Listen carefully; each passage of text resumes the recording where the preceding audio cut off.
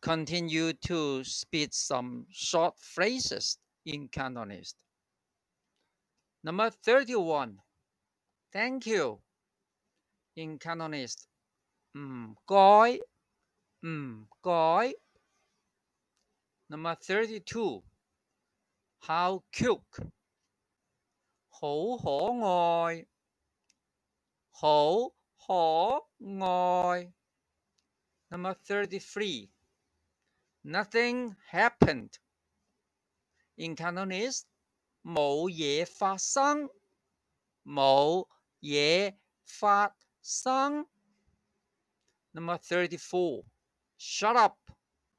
In Cantonese, 收声，收声。Number 35. Come along.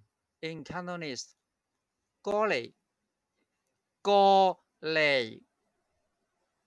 That's all for today. Hope you can practice more.